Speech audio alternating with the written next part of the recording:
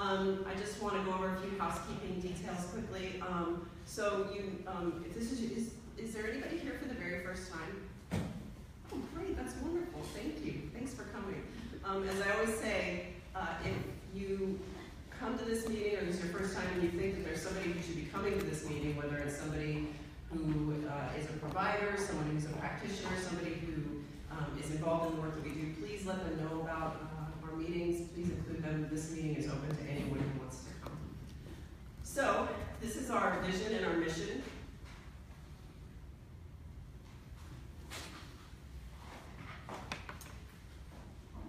Just a couple of quick things. Please make sure that you sign in when you get here and leave your business card if you're new, and then we'll add you to our working list so you'll be notified of all of the um, upcoming important dates or the um, things that we talk about in this meeting uh, to make sure you're up to date on everything happening. Um, if you parked in the parking garage across the street, we can validate your parking for you, so be sure that we um, stamp it before you leave. Um, the Wi-Fi network is library and the password is historic. Here's our social media contacts, so feel free to tweet and post uh, both while we're at the meeting and afterwards or whenever you're doing events um, at your organizations. For those of you um, who are new, um, we alternate each month with a speaker session and then working sessions. So this month obviously is a speaker session, but the next month we'll have a working session. And so when we have working sessions, we keep track of the work that's being done, and it's on this Google Drive. Um, so next month we can go over this more closely, but it's a way to catch up on what each group is working on and, and finding out more about how you might want to be involved in our working groups. So we have a steering council here for the um, coalition. Um, if there are members of the steering council here, would you please stand up? Aaron Deacon, Rick Usher, and Jillian Helm. If you have any questions or need more information, you're always welcome to ask me or any member of the, uh, the uh, steering council. Okay, so here's our agenda for today. Um, we're so pleased to have uh, John Windhausen from Schools, Health, Libraries, and Broadband Coalition, also known as SHLB. Um, and then I just want to make sure you knew about our next month's meeting. And then uh, again, um, just you know, we'll, we'll try to adjourn um, 15 minutes early so that each one of you can have a chance to talk to each other and network um, and meet each other.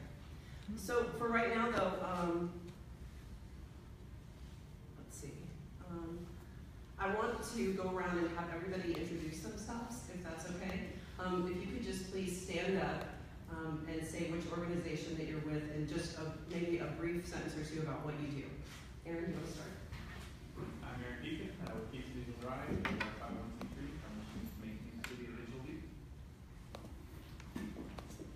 Morning, I'm Carrie Keefe, I'm with the KC Social Innovation Center. Uh, digital inclusion, digital equity is, is very important to us as a, as a regional, um, uh, nonprofit focused on learning and education innovation. I'm Michael Levent, I'm Executive Director of Footprints. We operate uh, a community, I mean, a recovery community center at 45th and Troost, and we have a computer center that uh, teaches digital skills to homeless vets, uh, people in recovery, and those who are recently released from prison and jail. Hi, I'm Kelly Berry, I'm the AmeriCorps Vista here at the library in the outreach department. And I'm Wendy Pearson, also with the library, and I work on uh, programs to help adults with basic digital literacy and then also pathways for career advancement and education. Hello, I'm Coco Lawson with Google Fiber. I work actually uh, standing in for Rick in Merlot as well. Um, she's our community impact manager, so we work together, STEM programming in the community and partnership with different nonprofit organizations.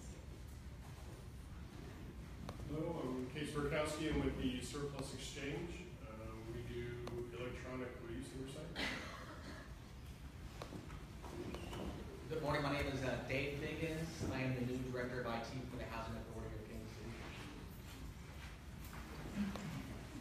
Uh, I'm Kate McNair. I'm with the Johnson County Library in Teen and Outreach Services and Incarcerated Services.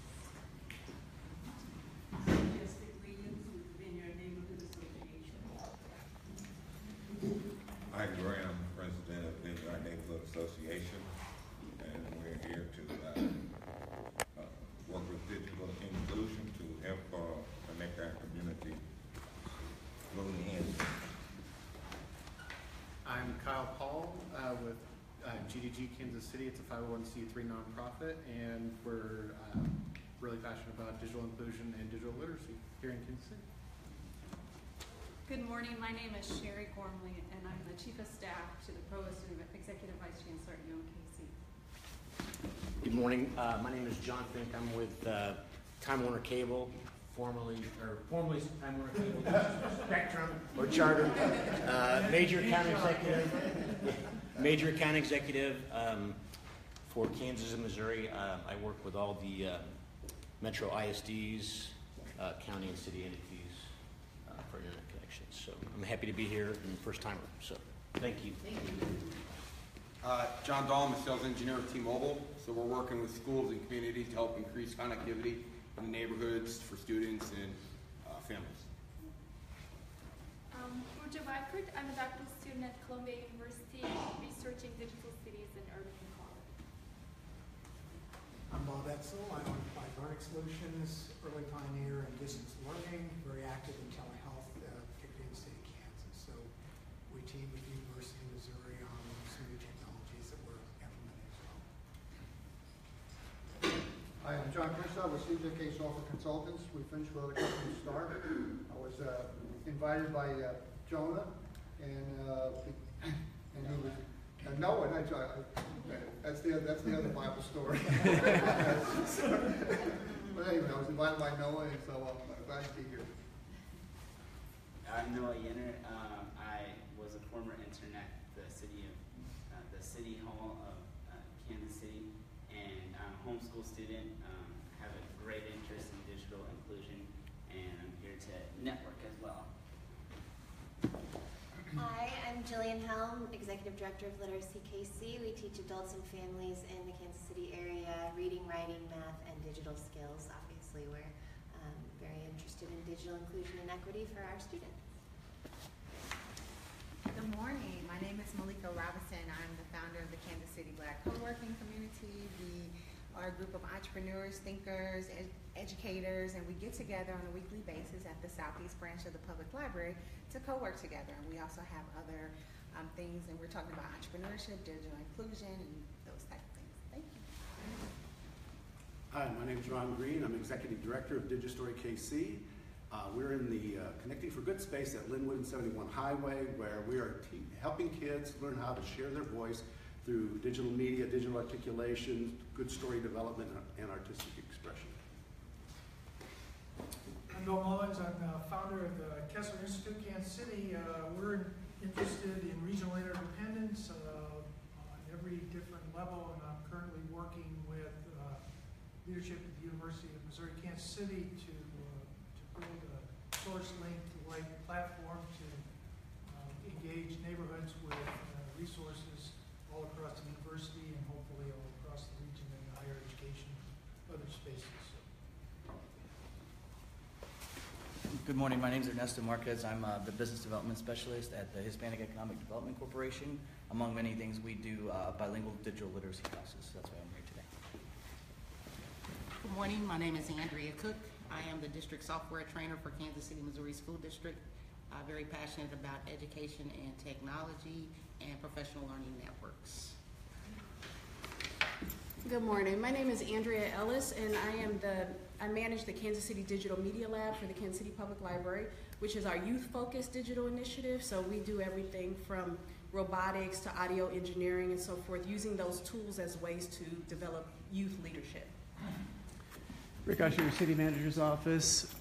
And uh, John, I'll warn you, we're on Facebook Live, and when Angela Siefer is here, she forgets and spills trade secrets. So, you know, Facebook Live. I think we have some people in the back. Do you mind um, introducing yourselves? Sure. Hi, I'm Diane Burnett. I'm the director of MainCor. Uh, we operate the MainCor, the Main Street Community Improvement District, and the Broadway Area Community Improvement District. So basically, everything that happens in Midtown from Crown Center to the hospital. And I'm Tim Allen, I'm with the Full Employment Council. Uh, We operate the Missouri Career Centers in the Kansas City area. Uh, Thank you. I'm Dave LeCron, digital branch manager here at the library.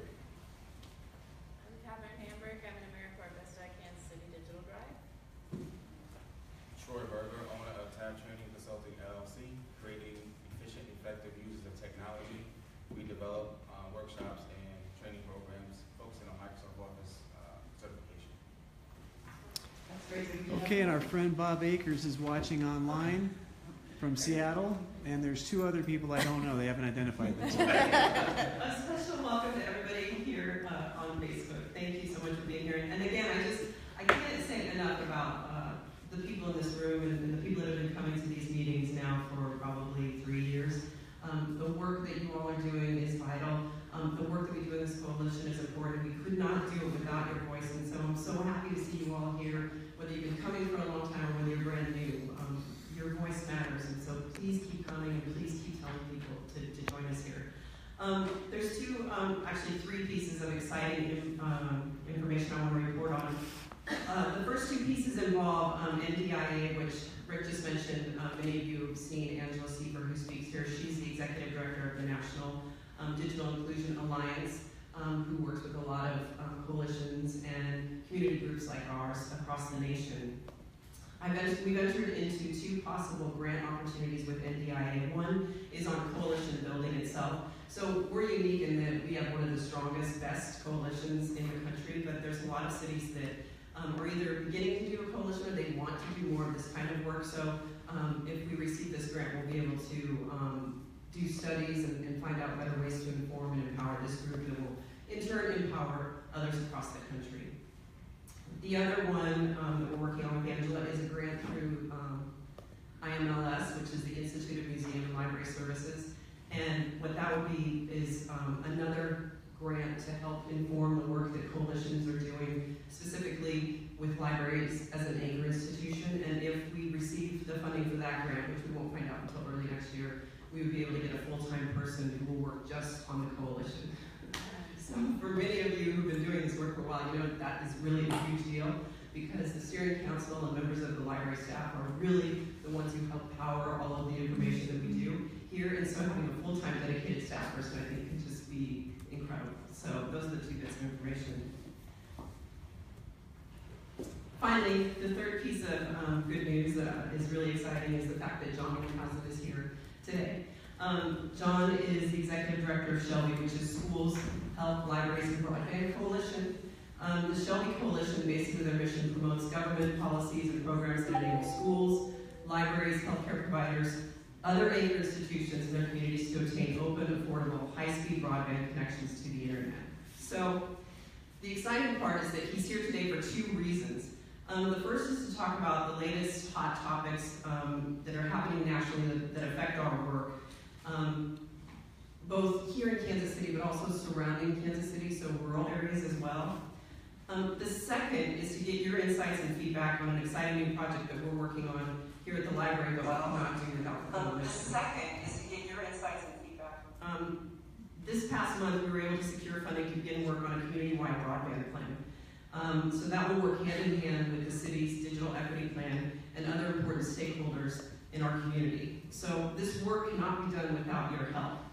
Uh, we need your thoughts, we need your insights, and John and his team at SHLB will be working to get feedback, information from this group, and then other key stakeholders in our community, including funders, small businesses, and corporations. So we can't do it without the coalition and, and all of your input. So that's why John is here to talk to you first um, and get your feedback before anyone else. So without further ado, I'd like to introduce John.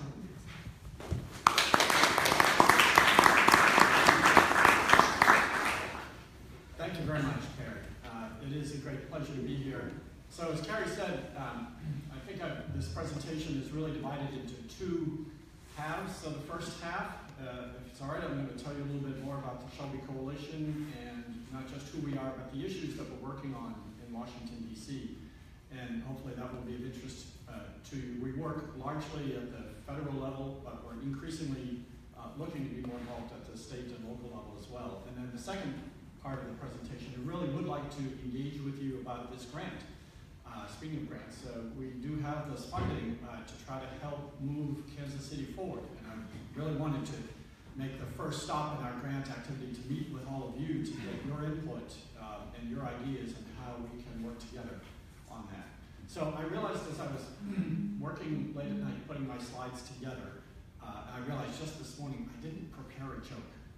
So I, I apologize to you, but if anybody in the audience has a good joke that you would like to share, I'm all ears, because I, I love, so I'm, I'm hoping this is an interactive conversation. So if at any point you, you think of something funny to say, please interrupt. You can stop me I'll that. So, uh, let's see. Yes, here I am. So a little bit about our SHLB Coalition. Uh, we are a nonprofit, 501c3. We're headquartered in Washington, D.C. Uh, we were started in 2009 with financial support from the Gates Foundation. Uh, and that was wonderful, of course, um, and we're very grateful to them. Uh, we were initially started to support what was the, then BTOP program that came out of the uh, 2009 stimulus legislation. Uh, because that program called specifically for anchor institutions to be beneficiaries and the focus of that broadband build-out program. So I was already working for the American Library Association and for EDUCAUSE, so I had kind of two of the anchor institutions that I already had relationships with. So the Gates Foundation approached me about starting this coalition, and I was very happy to do so. Um, having said that, uh, the Gates Foundation doesn't fund organizations forever. Uh, they helped to launch and organize, so we received a three-year grant from them two years ago. Uh, so that money runs out next year. So we are now in the process of transitioning towards becoming self-sustaining uh, through membership. Uh, we're very uh, collaborative, uh, as this coalition is. Actually, the, as I heard you going around, the makeup of this coalition is, is uh, in a lot of ways similar to our SHLB coalition, because we have a variety of parties that are members. Basically, anybody who supports the mission, supports our, shares our mission, which I think a lot of you do, of getting high capacity, open, affordable broadband to anchor institutions and their communities. And the addition of the and their communities is a really important one because our mission is not just about the schools and libraries and health providers, it's also about recognizing that they are institutions that work in their community or embedded in their community. And the little phrase that we like to emphasize is that we promote broadband to and through the anchor institutions to the surrounding residential communities. So that is our mission. And as you see, we have been growing uh, in our membership. Actually, the next slide shows that even more. So this is our membership growth history and our projection. Uh, you see the 110. Uh, this actually was a slide we prepared back in May of this year when we projected 110 members is what we need by the end of this year. Well, we're now at 113 members. So it's in October. So we're about two months ahead of schedule in our membership recruitment. But our estimate is that we'll need to get to 150 members to be financially sustainable for our existing operations. So we're in good shape. We're on the right course to get there, uh, but we're not there yet. Uh, but next year, I think it's going to be a very exciting year. Um, hopefully, we'll be able to cross that threshold uh, and keep going. If any of you are interested in becoming members, please let me know. We'd uh, to have. We, we'd love to have you. Uh, here's an idea, snapshot of our some of our most recent members. Uh, you get an idea from this list of diversity, different kinds of members, and these are members that just signed up in the last couple of months. So as you see, we have corporations like Cerner and um, like MOREnet uh, uh, in Missouri is a member. Uh, the Good Samaritan Society is interesting. I don't know if you know about them. It's an Evangelical Lutheran Good Samaritan Society. They run a lot of skilled nursing facilities around the country. Uh, and they have just joined because of all of our work to promote healthcare, and promote broadband for, for uh, rural health clinics and skilled nursing facilities. So that's our membership. Now, what is it that we do? you know, why do we care? Well, these are some of the things that we uh, are engaged in, and, and there's a lot. Now, there's only three of us on staff. So, uh, but I like to think we're very productive considering there are only three of us. This gives you a sense. So we publish research, we put together a broadband action plan for anchor institutions last year. We hold policy calls with our members every couple of weeks. We've launched a Grow Gig Plus advocacy campaign. We started a monthly newsletter. We hold two conferences a year. Our annual conference last year had about 350 people in DC. Uh, we're looking at growing that to about 500 next year. And we also have a symposium this, this uh, fall in November, just about a month from today, exploring all four of the FCC's Universal Service Fund programs. So that's very exciting. We have a lot of FCC staff and USAC staff coming to participate in that symposium. Uh, we just started this new member benefit, Calls with Policymakers. And this is going to be an exciting I hope it's exciting, I'm excited about it, uh, new series of activities for us. So we just had our first call earlier this week on Monday with FCC Commissioner Mignon Clyburn. And of course, many of you know she's been a real champion of digital equity real supporter of, of anchor institutions and the Lifeline program. So we have a very nice call with her, and those calls are recorded. And for members, they can go on our website and listen to those calls if you weren't able to join us at that time. Um, the last point is something that perhaps should have gone first because uh, we're uh, at first, Blush, we're an advocacy organization and we do a lot of work interacting with the federal government officials. So we file comments and regulatory proceedings, we testify on Capitol Hill, we interact with policymakers and including in the Trump administration. But it's interesting, Carrie, when you and I were chatting last night, you were surprised that I was putting advocacy first. And I think that's because we do so many other things in addition to advocacy. And I think there are really a lot of reasons uh, why our members benefit from the information sharing uh, that we have and the coalition building that we're doing and engaged in. So there are a lot of reasons that we're kind of at the hub of a lot of the broadband policy efforts. Uh, a, a great value that we love to be able to, you know, we love it to hear stories where people say they came to our conference and people didn't know each other until they came to our conference and were able to interact. And our view is that a lot of libraries go to library conferences and schools go to school conferences and industry goes to industry conferences. But there are very few organizations like ours where you can get all of those sectors in the health coming to one conference and interacting with each other and getting to form relationships and sometimes deals or uh, networking, uh, ongoing contractual relationships or lobbying relationships at our conference. So that's that's kind of thing that we do and we thrive on helping to foster. So here are some of the key issues. Um, please stop me if you're interested in any one of these. I'm going to run through them uh, pretty quickly, uh, but I'm happy to go into more detail just to give you a flavor of the kind of advocacy work that we do. So on E-rate, for instance, uh, we were very pleased in 2014 that the FCC adopted new rules to allow the E-rate program to fund fiber build-out to schools and libraries. A lot of especially rural schools and libraries weren't getting the kind of high capacity broadband that, that they need. Um, and so the FCC uh, streamlined some of the financing options and made more funding available. They increased the pot of money in the E-rate program, but they also provided a, a, a match. If the state put up 10% of the funding, the FCC would increase an additional 10% from their end. We thought this was going to be great, uh, but it's been really difficult to implement. Uh, the, the, the, new fiber rules were delayed for a year, then it took uh, USAC time to uh, develop its process, and now with the change in administrations, we're a little concerned that the new administration is not really following through on those rules the way we had hoped that they would. In fact, uh, one study from Funds for Learning found that 55% of the fiber uh, special construction applications were being denied. And that's a different route. Yes? Sorry, Dara, but do you mind just saying what USAC is, or, you know? Oh, sure, sorry. You may not know exactly, you know. Good, thank you. So USAC is the Universal Service Administrative Company.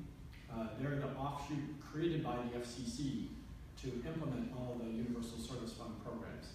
So the FCC sets the rules, and then USAC is the one that actually approves or disapproves the applications, and USAC is the one that, that sends out the money. And so it's one of these kind of things where uh, USAC is the one that's actually sending out these denials of these fiber applications, um, but we hear behind the scenes that they're being told to do that by the FCC staff behind the. Um, and so that's the difficulty that we're in. It's, it's not, they're effectively changing the 2014 policies without saying that they're changing the policies. And this has left a lot of schools and libraries very frustrated. In fact, I had a conversation with the Missoula, Montana uh, educational system just a couple of days ago where they submitted a fiber application. They were going to fiber all the schools in Missoula, Montana. They even had the state uh, match to support that program, and unfortunately, uh, that was denied. And it wasn't denied because they violated any of the rules. It was denied because the USAC staff didn't think they got the best price that they could have gotten. And that's confusing because they went through a competitive bidding process and they chose the lowest cost provider of all of the uh, bids that were submitted. But apparently USAC has a cost model that they're referring to that to us. So we're not really getting that broadband build-out that we had hoped that we would be getting, particularly for those rural areas, that's a. So that's something that we're actively working on right now. How can we turn that around? Um, we're also working very much on the rural healthcare program at the FCC. This is a program that for many, many years was underutilized. The FCC set a cap in funding at $400 million back in 1997, uh, so 20 years ago. And for many years, only they were only giving out about 50 million or 100 million that program. So they changed the rules, liberalized the program, and now we have the opposite problem. All of a sudden, in the last two years, demand for this program has shot through the roof. And the latest information we have is that the applications for, for 2016 and 2017 came out to about 560, 570 million dollars for each of those two years, so well above the 400 million dollar cap.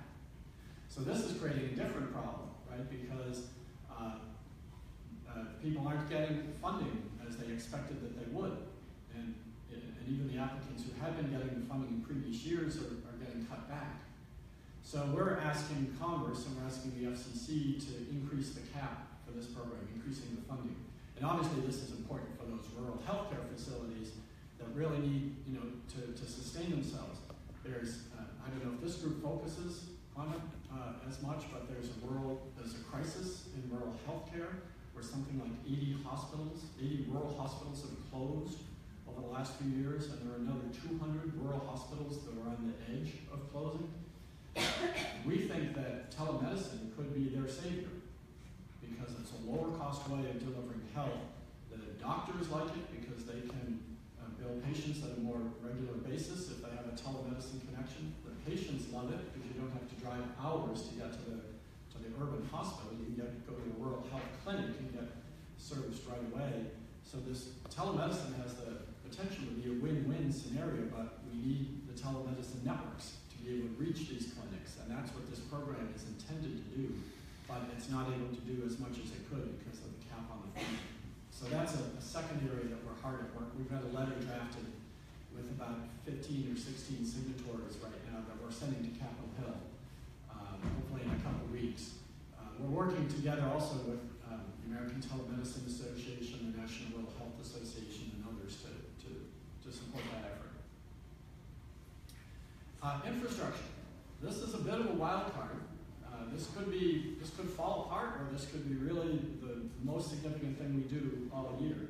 Um, we've been talking to officials in the Trump administration about the infrastructure bill. Now it's been postponed, and we're talking about doing it earlier this year, but obviously they decided to focus on health care and Obamacare repeal. That took priority. I think we've moved past that now, maybe, unless it comes back again, I don't know. But now they're fo- seem to be focused on um, tax reform, and that's the, uh, the biggest topic uh, for this fall. I think after that, next on the agenda is infrastructure. In May of this year, we had a meeting with the Trump administration folks, and they said there will be funding in the Trump infrastructure proposal, funding for broadband. And then in August, we were told maybe, maybe not. Uh, but we also said we were also told that they want to work with Congress, and they're not closing the door to funding for broadband, but it's going to be up to Congress to decide whether it's appropriate to include funding for broadband.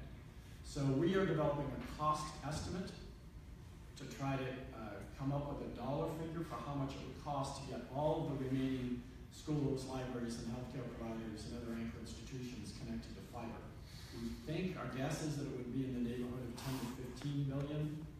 And I know that still sounds like a lot of money, but that's a lot less than the 40 billion that the House Democrats have suggested they want to see in the bill. So we're thinking maybe we might have a good shot at influencing Congress to support broadband funding to get the anchor institutions connected because it's more affordable, but also you get a, a broadband connection in every single rural community around the country. And that could be a big value to those rural, um, um, you know, improve the, the rural economics. So it doesn't just, again, doesn't just help the anchor institution, but if that broadband connection can be a platform for economic growth, for digital inclusion, uh, that can have numerous benefits for those rural communities. So that's what we're working on, and that, as I said, that cost estimate, uh, we should be putting that together about a month. Um, EBS is an area that we're working on, educational broadband service. This is wireless service of licenses. So the FCC issued the last licenses about 20 years ago. And that was before the wireless market had really uh, taken off. So a lot of rural areas never got any licenses. And these are licenses specifically awarded to uh, K through 12 and higher ed. So it's for educational purposes. But of course, we, we like the idea that the educational institutions that receive these licenses are partnering with industry. And sometimes, you know, having commercial uh, public-private partnerships has worked in the EBS space. We'd like it to work in those rural markets as well. So we're trying to propose ways to get more EBS licenses issued by the FCC. There are three different ideas on the table. I won't go into those unless you're interested, but we're trying to, to move that all forward. And then the last issue I'll mention is Lifeline. Uh, this has been a real disappointment. What a shame. You know, it's such a well-intentioned program to provide subsidies for low-income people to get them connected. And the FCC made some reforms uh, to make that $9.25 available for low-income households to subscribe to broadband. It's always been there for, not always, it's been there for 30 years for telephone service. The FCC correctly said, you know, consumers ought to be able to use this for broadband too.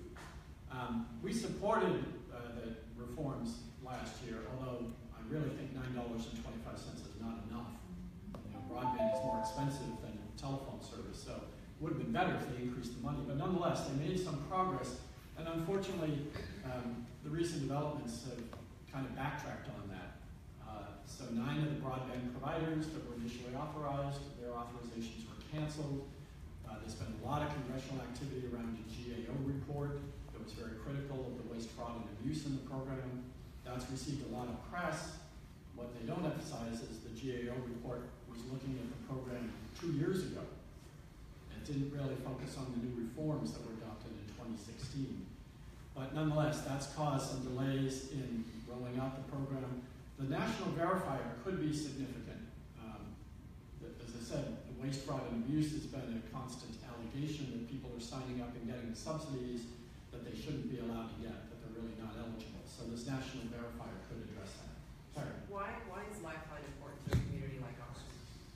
Lifeline is important because ultimately the schools and the libraries can help facilitate uh, the awareness of these Lifeline subsidies and promote the kind of digital inclusion that this group is, I think, focused on.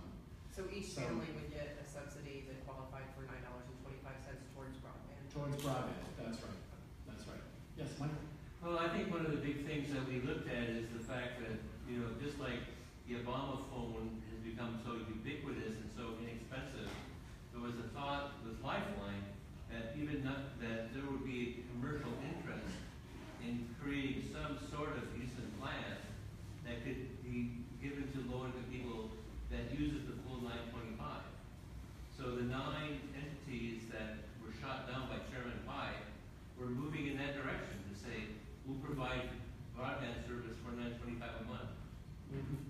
And so, in a sense, he stifled the creation of a whole new low-cost broadband, uh, industry. Well, that's right, it's really put it on, on hold. Uh, we were advocating in our 2016 uh, rule changes, we wanted schools and libraries to be eligible to not just uh, advertise the services, but actually participate as broadband providers. And we thought, okay, not every school or library wants to do that, but some may, and they actually may want to participate in the program, but we didn't, even in the Wheeler Commission, we weren't able to get that change. Um, uh, through. But nonetheless, I think the FCC keeps talking about the value of community-based organizations in supporting uh, broadband connections and getting more people connected. And I think a lot of our community, a lot of you, that's what you're dedicated toward doing. How do we do that with the rules that have been created? It's really up in the air right now. It's not working out yet. Uh, we hope that these the national verifier is in place. Then perhaps the FCC will have more confidence that the fraudulent applications will have been winnowed out, and then they'll be able to go forward with the program. Now, some people will say uh, Chairman Pai and the Republicans want to kill the program. I don't believe that. Uh, I, I do think that they're trying to, sincerely trying to improve the program and make it better and stronger, but it's going to be kind of tough medicine. Um, but I do think that the, uh, even the Republicans uh, in, on Capitol Hill that have been critical of the program, they're not proposing to eliminate the program, but they are proposing to, to make it better, and I think we have an obligation to work with them as much as possible to point out the ramifications of what they're doing. So we'll see, that's an open, it's an open process right now. And the SHLB Coalition wants to be helpful as, as much as we can. So that's the end of that half. Am I- How am I doing on time? Okay? Yeah, let me just pause there before I go into the next step. If there are any other questions about SHLB Coalition and any of these initiatives that I just talked about. Okay, yes, Mike? So you alluded earlier to the fact that um, you've been advocating for E-rate changes so that this excess capacity that schools and libraries have, say after school hours, could possibly be shared with the community. Has there been Yes. some pro- progress in that whole area? Um, this is again one that is going to take some work. Um, what SHLB likes, as I said earlier, is the idea of using the networks to anchor institutions as a platform, a jumping off point from which you can serve the community. E-rate rules are, are a little bit finicky about whether they allow that or not.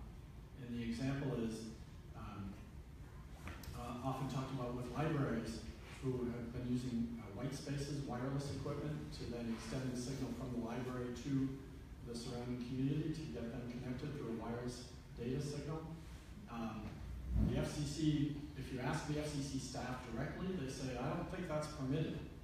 And they might try to scale back their E-rate funds if they know that that's going on. Um, but I also hear stories of some libraries doing it anyway, and that the FCC may not know about it. And I think there's an argument legally that the rules actually do allow it. But the FCC and USAC staff may not be so friendly to the idea. So we want to kind of turn that around. um, because we do think that once you build that big connection to the anchor institution, that's a great resource that should be shared. You know, there's a lot of opportunity to build in multiple fiber strands. And so you could use those additional fiber strands for the community's benefit. And that, would be a benefit of the E-rate program. But we're not quite sure how the, the USAC staff are, are dealing with feel about that right now. So that requires a bit of a mindset change about the E-rate program. And there's some people, uh, even some, to be honest, some of the E-rate community that is, can be a little stuck in the past on E-rate and say, no, let's not make any changes to E-rate. But I think the real virtue of the E-rate program is its adaptability, and it needs to change and, and stay up with the times. And I think this now is an opportunity for us to, to change and alter the E-rate program focus so that it has more benefit. Do you agree with that? Michael? Well, absolutely. I think, you know, I mean, we, early on with Connected for Good, we're looking at ways to, you know, use the library and other entities in the community who get E-rate funds to push, uh, stuff to housing projects using, um, point-to-point wireless, and found out that that wasn't permitted. I know there was a case in Colorado where that was done by a library for a housing authority, and I'm not sure if that's ever been resolved or not. Mm-hmm. Yeah, no, it was not resolved. I know in Boulder, Col- Boulder Valley, Colorado filed that petition with the FCC because they wanted to extend their E-rate service to the housing community next door and they asked the FCC for permission. And the FCC didn't rule on it, one way or the other, it's still pending. So are they offering it? Um, Are they they are, doing it anyway? they're doing it anyway, but they're making sure not to use any E-rate funds, so they, they're it off as a, a totally different project. Um, so it's costing more overall because they're having to keep those two funds separate. If they were able to get the FCC's permission, they could do it more efficiently by doing it together. Also, Microsoft has been supportive of that idea. And they've got, a- also, Microsoft also filed a petition with several Virginia school districts trying to do that. You can explain what E-rate is for people who don't know. Oh, E-rate is the subsidy program for schools and libraries. Was created by the 1996 Telecom Act um, that I helped to work on when I was working on Capitol Hill. And um, it funds, depends on how rural you are, but it funds something between 50% to 90% of the cost of getting a broadband connection to the school or library. I mean, again, initially it was focused on telephone service. In that case, the statutory language um, allowed the E-rate program to cover advanced services. So several years ago, the FCC has been moving the E-rate program to cover broadband. Um, the painful part is in the 2014 rule changes, the FCC said, all right, we're going to phase out support for voice telephone service. And that's been difficult pill to swallow for a lot of schools and libraries because they used to rely on that E-rate support for voice telephony, and that's declining. Um, and This is the last year for the voice learning, the E-rate? It? It, depends on what percentage level, like if you were getting ninety percent, then it was phased out twenty percent per year, so it went down to ninety to seventy to fifty, so I think it depends on where you are, but it's either the last year or the second to last year. Yeah. And now the, the purpose is understandable because it's trying to migrate, help encourage schools and libraries to migrate over to VoIP and other broadband solutions um, instead of using plain old telephone service. Uh, but still, you still need plain of telephone service. So some schools are still having to pay their, you know, they're seeing an increase, effective increase in their telephone bill at the same time that they're trying to deploy broadband. So it's a difficult transition. Yes. Going back to what you were talking about before, can you address why the FCC has concerns about extending the E-rate coverage to those, to the community outside the inner city? What are yeah, they? yeah, and, and I understand where the initial idea comes from because the purpose of the program initially was to connect schools and libraries. And so the FCC initially said this is a program for educational purposes. So the idea was let's focus on these institutions as institutions. And uh, some of the private sector said, okay, we'll go along with that as long as you're not subsidizing competition to us outside of the school or library. And so uh, there's been this concern that if the E-rate program is opened up and, and you're allowed to uh, use the program to help residential consumers, that that might be fostering competition to some of the commercial companies. Now, our response to that is two things. One, we welcome the commercial companies in participating in the E-rate program, so we don't see it as competition as much as a new opportunity for them, market opportunity for them. And also, we're saying we're not talking about spending E-rate dollars on the residential connections. We're saying only that if you get an E-rate support for your school or library, any excess capacity should be allowed to be used with the shared with the residential community. Um, but not that E-rate dollars won't pay for that, but they also shouldn't be a barrier if a school or library wants to do that. It should be the school or library's choice if they wish to do so. So we think we can work with that. We think we've got a, a good argument why that ought to be expanded, but, but there are some wrinkles to it that I understand need to be thought through and worked through the statutory language. Yes. I was just thinking with flipped classrooms, uh, as we have school actually where they're actually learning at home first by watching videos of Yes. some sort, if that would be a workaround in order to bring education in it at the home base, because it's actually at home, but it's actually education that they will need in order for them to do their work at school. Yes, yeah. So there's this whole concept of the homework gap, Mhm. right? That seventy percent of teachers are assigning homework that requires online access. Right. And yet, in Kansas City, seventy percent of students don't have internet access at home. So there's a disconnect between what the schools, or you know this, or the, teachers are assigning based on their assumptions, but if the kids don't have it. So we're trying to, um, uh, that's an, an exactly the kind of example of how we think the E-rate program needs to be adaptable to the changes in the marketplace. Right. So one of the other examples that we're a big proponent of uh, is using E-rate to support Wi-Fi on buses, school buses, right? Because this is a fabulous idea, and it's not that expensive, although if you add up all the school buses, it will be, but per school district, that's, that's a, could be an hour or perhaps two hours a day where school kids could be learning online on the bus rather than, you know, doing whatever else they do on the bus, which is not all that educational. um, so we'd like to see the E-rate program adapt and allow, um, at least you get, get uh, online on the school bus, and then you still get the problem of getting online at home, and the fact that so much of this flipped learning is encouraged to watch the videos at home and then you go in and use the time at school to discuss what you did at home. That's a great model, and that's going to increase. We do see some evidence of how these new technologies are increasing student performance, student engagement. There was one uh, uh, um, educator from New Jersey who they went through a big fiber deployment plan to all the schools in New Jersey, and he said one of the interesting impacts they didn't expect was that it cut school truancy in because people, kids were more engaged and more wanted to come to school, right? Because they had the technology available and it was more um, gripping for them. And so that was a real enhancement to learning. Yeah, again, I think you know that already from your experience. But, yeah. So I, I just want to make sure I heard you right. You said 70%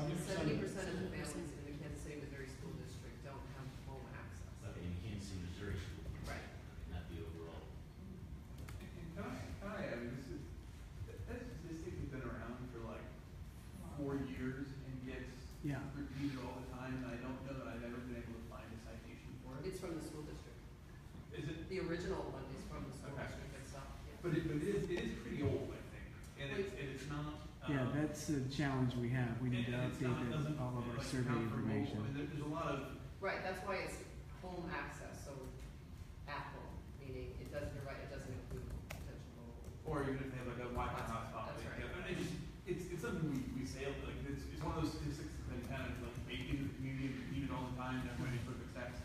I, I don't know how meaningful it is, other than, you know, it's good to have a number. Right, we should, we should definitely check on it again, but that doesn't mean that it's gone down. So what what is that data? I mean, how, how old is the data? Is it recent data or? is it- It's like, well, I mean, it's like even five, five years, but it is part of one of our issues in, in the plan Right. is Is how do we getting fund support to update these kind of surveys at least every three years. I mean, and then even agreeing, is it every two years, every three years? But we need, we need that data updated because Google did a state of internet connectivity survey in twenty twelve. Then they built the network and we haven't done any surveys since. Mm-hmm. So, Which is a perfect point, which is why we need new data, which we hope to gain from doing a community-wide broadband plan. Which segues perfectly Right, into well, what we're gonna be we talking do about. the, the plan does, the- we, you know, we gotta do It a, should be, no, we it gotta should do be a a part survey. of the ready- plan is getting new data. Yeah, yeah, the data collection needs to be parallel to the plan, right? Yeah, I mean, this is a good lead-in to the next discussion point, because, uh, as Carrie mentioned, we received this grant from the um, Crosby Kemper's Family Foundation. So Crosby Kemper, who's head of this library, is also the chairman of the SHLB Board.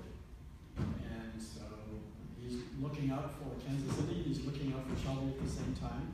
So we were very pleased to receive this funding, and now we want to be able to use this in the best way. Now, that I, we recognize this is not a lot of money. This is not, we're not gonna be able to quote unquote solve the problem here in Kansas City with this funding, and especially we're coming in from, from Washington DC, we don't wanna say, tell you what you should be doing, because you're the experts. But on the other hand, we do think this is an opportunity that we would like to be engaged with you in figuring out, okay, how can we use this funding to really benefit and uh, benefit you and benefit the citizens of Kansas City? How can we move this ball forward? And perhaps get to the next step of working with all of you around a, a comprehensive plan to, to build off of the work, Rick, that you did with the city uh, digital equity plan, uh, which was great. Uh, and my understanding is that focuses a lot on what the city can do, but there are a lot of other parties in the city that are also engaged and want to be involved in this, in solving this problem. And so how can we build off of what you've done, build off of what everybody else has been doing and get to the next level? I think that's what we're looking at right now. Exactly. So this is some of the things that we've been uh, identifying as questions as we move forward. And these are just a few preliminary observations. We're at the very beginning stage, so we just received this funding last month, uh, the end of last month. So we're just now beginning to explore how can we be helpful. That's why I said I wanted to come come to this meeting and meet with all of you and engage with you. We're also going to be meeting with a lot of others in Kansas City as well, uh, and uh, trying to understand from a variety of perspectives what what is going on, what are the existing resources, and maybe from you, what are your gaps or what are your biggest challenges? Those are the kinds of questions we want to ask, and perhaps we can help facilitate those conversations. So, as I said earlier, broadband plan for the city. What can other organizations do? Um, you know, there was a lot of hype about the Google Fiber, of course, but you know that really, I think a few years ago we thought, oh great, the problem is solved. Well, now we don't, not really. Um, we talked about the 70% factor or statistic, which you know that could be something that we do on this plan. If that's a value, to do a revised survey, you know, and update that 70% number. That, that's that's one idea.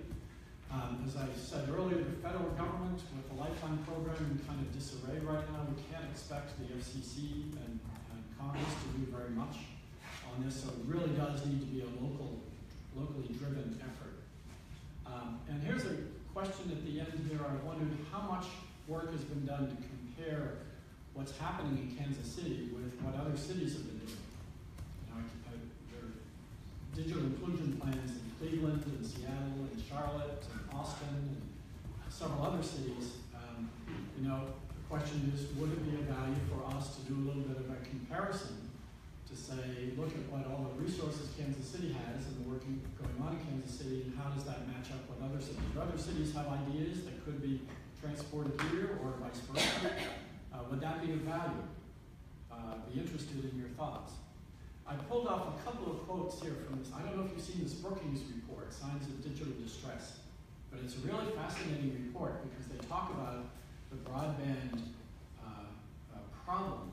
The digital divide problem is largely an urban problem, according to this. Well, they focused on the urban issues, and they pulled out some. Uh, they, they did analysis of many of the urban centers in the United States and county by county analyzed their broadband uh, adoption data. Uh, but they, they particularly called out what's going on in Chicago as a place where it's been proven that uh, the residents enjoy better education and health care services when they received a neighborhood-wide intervention uh, to promote broadband use. So what does that neighborhood-wide intervention look like? how many parties need to be involved working together. Uh, well, here are some of the things that they identified as things that, that need to be included. Teaching skeptical households, computer equipment and devices, marketing campaigns, uh, working with the private sector and with civic institutions. You know, this is not going to be a silver bullet kind of issue, but it, you know, these are the kind of comprehensive things. So how many of these things is Kansas City doing right now, can we say? Yes? I'd like to add, many of this audience will know who David Oliver is in Kansas City. He's very involved funding and charitable organizations at high levels. I was in a meeting with him and Tom Esselman of Connecting for Good, and what he is saying is happening in the funding community in Kansas City is they want to see more ecosystem type approaches at funding community activities so that you don't have all these one-off disparate efforts going in place where you get more of a neighborhood-wide approach to funding support. Mm-hmm. That's a key concept. Yeah, I, I like that. So I know you have a lot of resources here already. I just pulled out some. I know there are many more. Um, one of the ideas that I think is particularly attractive to me is this idea of community learning centers as part of this neighborhood-wide intensive. And I saw a reference uh, in your plan, Rick, about Google's community centers, 164, I think was the number that you included. No, th those uh, are, are citywide. And uh, Noah Yenner, who has joined us Yes. here, uh, he and Eleanor Nash participated in our Hire KC Youth Internship Program Mhm. this summer, and they completed uh, our first step. It's a current state assessment of community learning centers in the community. They gave a presentation back in August, and so now we're looking at the next steps of moving that forward either through um, student programs at UMKC, and then there's also a student program through Esteem Village that we're looking at. And, and Oh, the, good. the other piece of phase two with the library of prototyping uh, community learning center at, at a couple of our uh, Parks and Recreation community centers. Mhm. Okay, So so we you have- said the number is great, much greater than hundred and sixty-four? Oh, oh, I'm sorry. So, so this, this, uh, this program, no, on the learning centers, uh, I think we identified, what, no, eighty-four or something, eighty-nine? Yes. And it was, it was an eight-week project, so we know there are more. This, this program, Google Fiber Community Connections, in our agreement with Google, they're supplying us with three hundred free gigabit connections for schools, libraries, community centers, and government buildings. Uh, we've worked our way through that. We're actually trying to wrap that program up this year. Uh, but we've connected uh, well over 200, 250. This building has one. All the libraries are connected.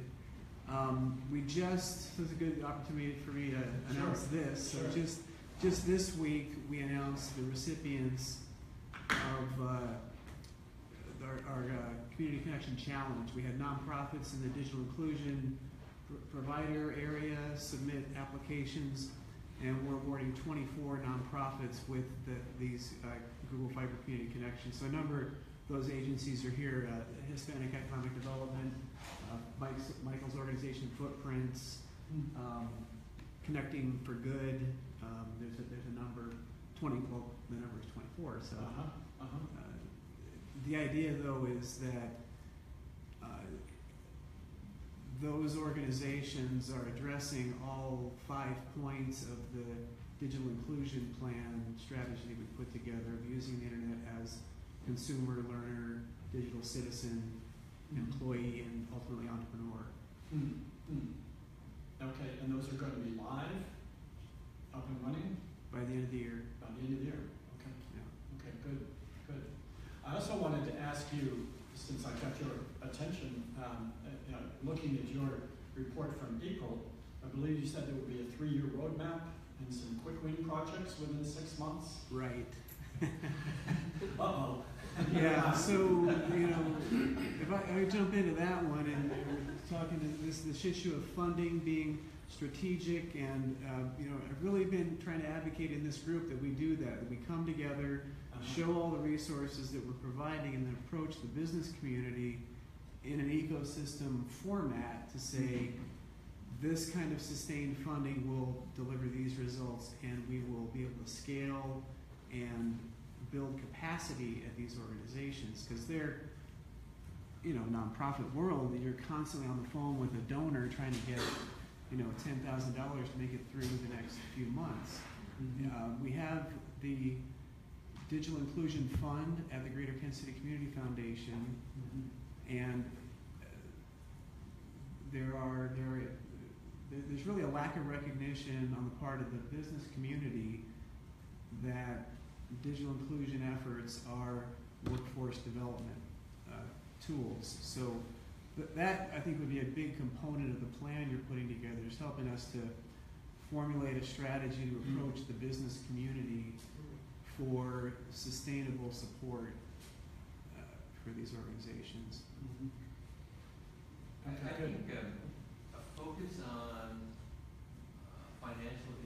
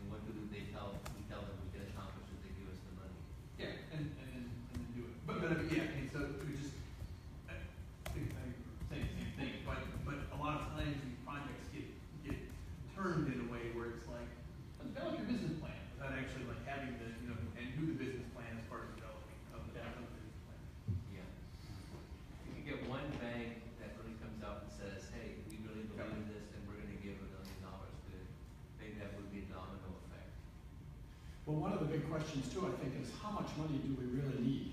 You know, what, what is the target? So what should our goal be? Uh, is it ninety percent? I mean, probably one hundred percent. Again, it is probably unrealistically high. I mean, we never had hundred percent of households having telephone service. So it's probably unrealistic to say we're gonna get every household connected to broadband, but what is a, a goal, a reasonable goal? Is it ninety percent? And then what does it take in order to get there?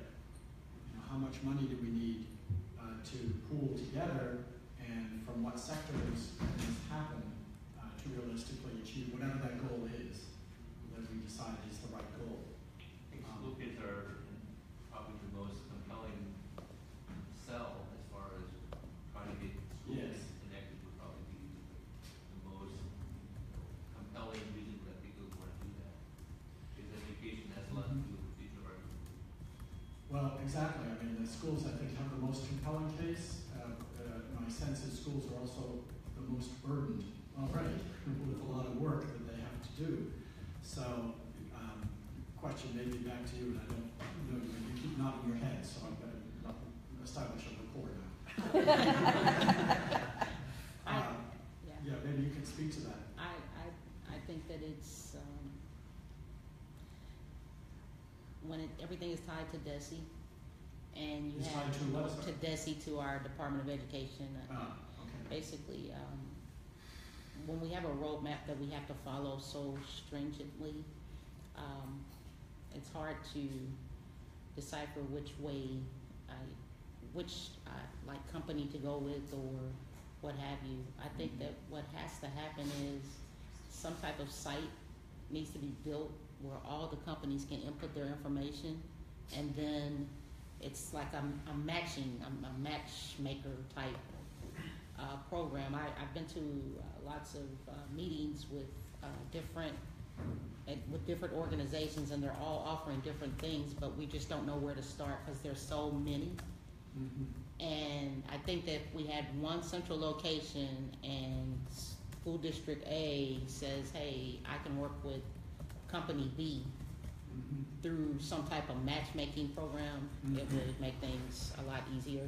There is a, uh, a lady named Sarah Thomas uh, on the East Coast.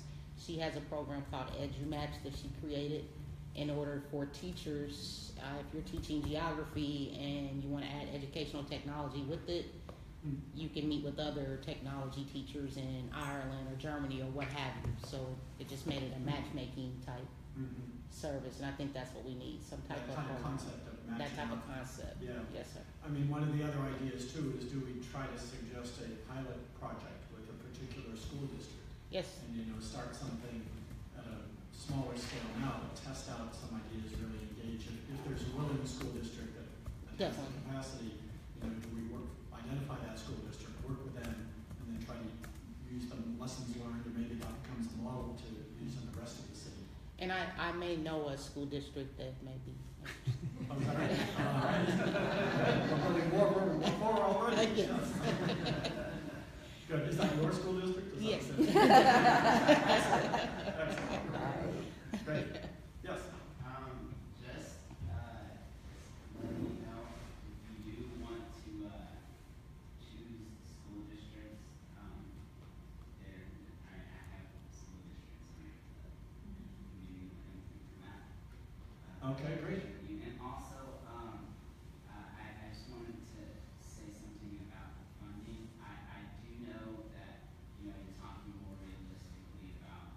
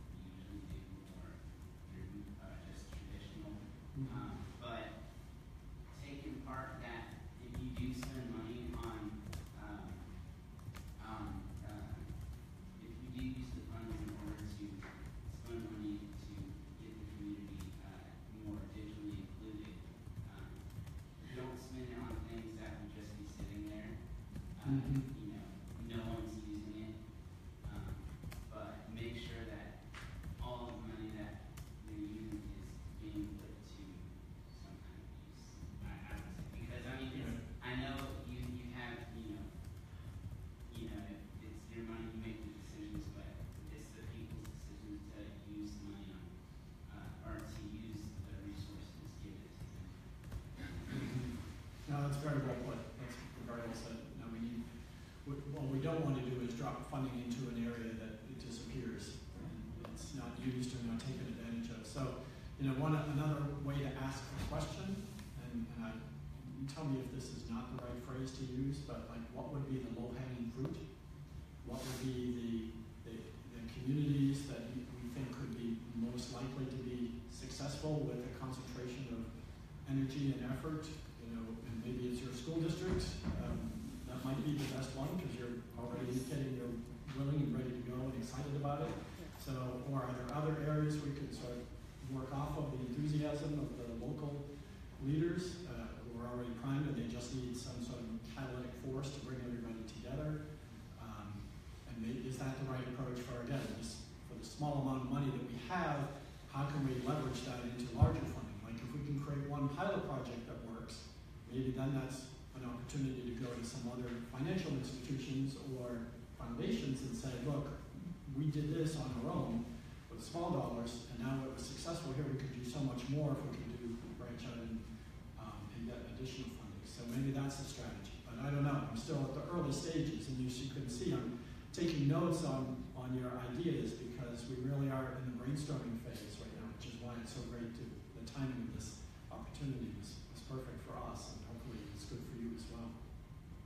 Um, so I think that kind of, yes, it does. That, that wraps up the official conversation. Um, I think I also ought to point out, Rick, I think one of the unnamed people on the Facebook Live is um, Emily Olson from our SHLB office. So Okay. She's been dialing in from uh, DC, but she is going to be joining with me on this project.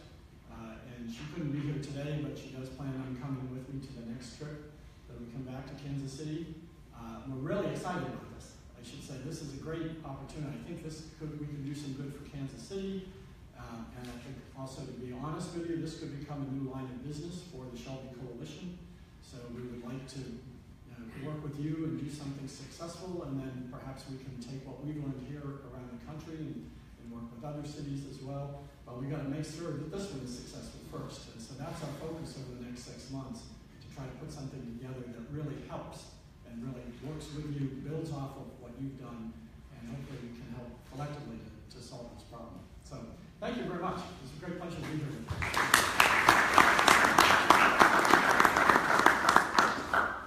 Were there any other questions for John? While here? Great. Thank, thanks to all, thanks to all of you for coming and, um, as promised, fifteen minutes or however long you'd like to take to meet, talk to each other, or visit with John while he's. Thanks again.